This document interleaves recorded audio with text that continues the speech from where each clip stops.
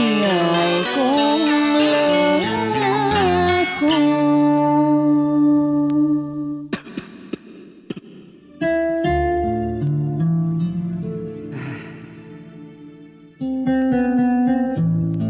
Nguyệt. Em. Dạ chào thầy. Mời thầy ngồi. Mời thầy dùng nước. Đã nhiều lần. Tôi gian em Đừng có kêu tôi Bằng cái tiếng thầy. Nghe nó khó chịu lắm. Vậy chứ thầy muốn tôi kêu thầy bằng gì? Bằng gì cũng được Quyền của em mà. Dùng tiếng thầy xưng hô thì thầy thấy khó chịu còn dùng tiếng nào nhẹ nhàng êm ái khác? Thì bụng dạ thầy đã biết. Sao thầy không chịu nói ra? Trời ơi Nguyệt ơi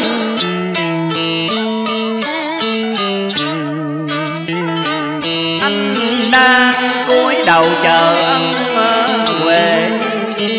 Em đồng lòng tha cho anh Kẻ gây cho em khổ đau lận đận Suốt cuộc đời duyên nợ dở dang Lương tâm thầy cắn rứt chăng?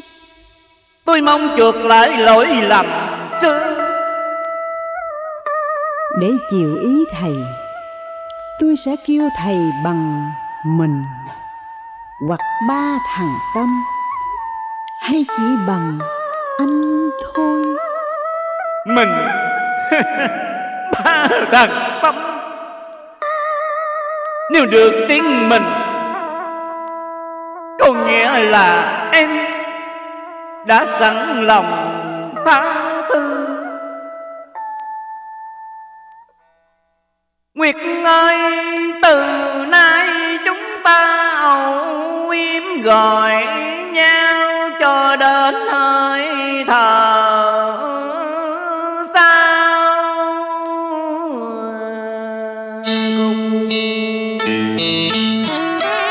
đời còn lại.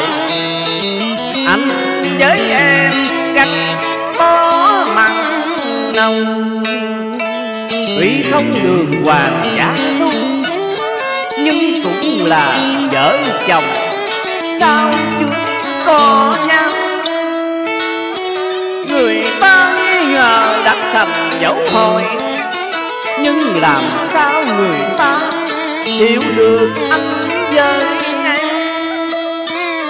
đã vượt ra khuôn khổ gia đình Quyết ai là ta nói lại mối tình xưa cha giờ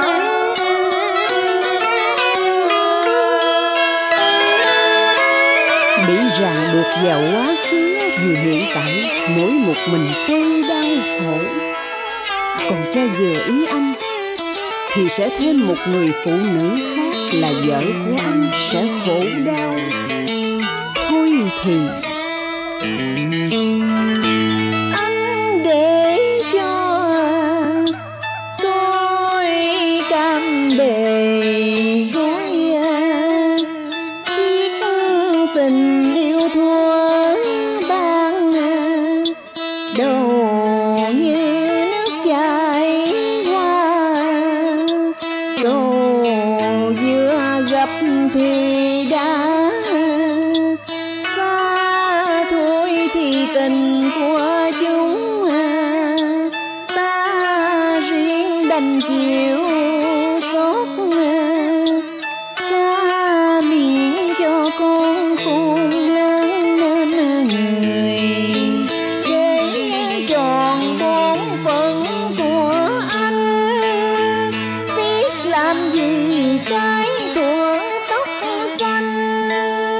Nhưng ở đây anh là ba của thằng Tâm Gặp gỡ thành Tâm Với tất cả niềm nhớ trọn vẹn Con của chúng ta thành Tâm, Sẽ tốt nghiệp ra trường.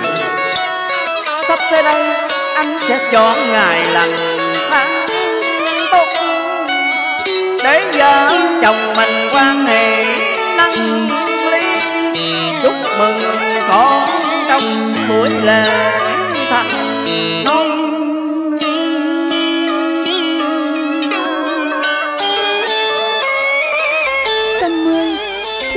mẹ chỉ tính gửi quà cho con trong ngày cưới. Chứ danh nghĩa nào mà mẹ dám nghĩ đến chuyện nâng Em gửi quà gì cho con? Đây mặt gói theo còn gian dở Chim quyên ương à. Trong ánh chớp nền trời đây đó Quyên ương và cuộc sống tuyệt vời Dịu dàng từng đường kiếm mùi chi. Có tới tim sắc son tình chung. Nhịp nhàng vương trời xa thắm Chuyên lửa đôi sắc son chờ mong. Vậy mà bao nhiêu năm rồi, Em thản nhiên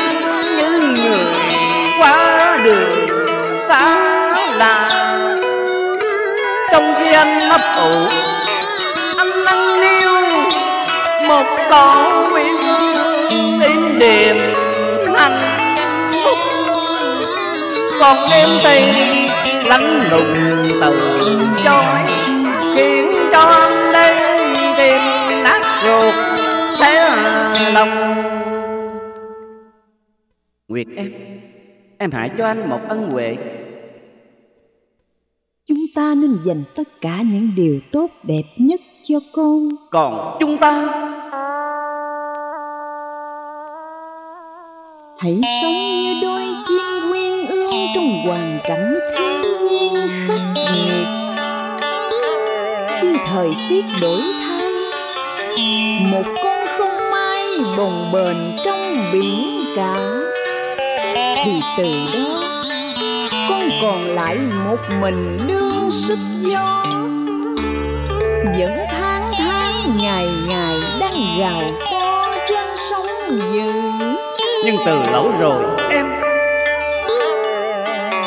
Giấc xuân mộng từ lâu cam trong trái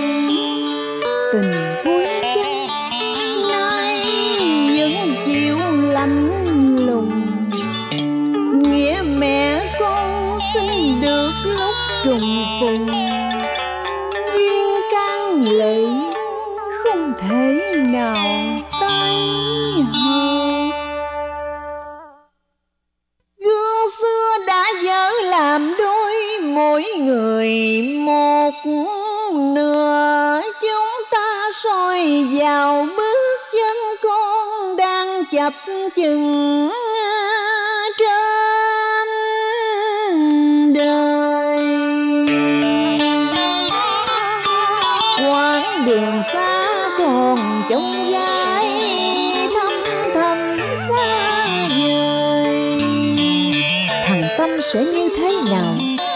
Trước cảnh chở đời, bán lợi, mua danh buổi giao thời mới cũ đổi thay.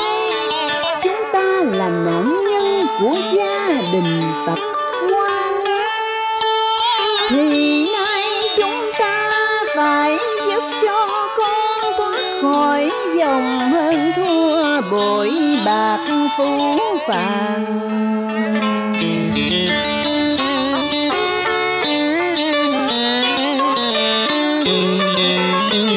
Em à Anh đã lo đầy đủ cho con.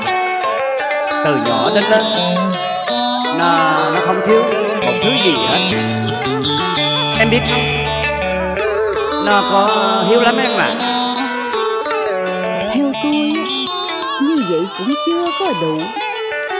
Mà thương con là phải sống cho trọn vẹn vì con. Đừng để nó rơi theo vết cũ lối mòn của chúng ta ngày trước. Ngập trong lớp rong rêu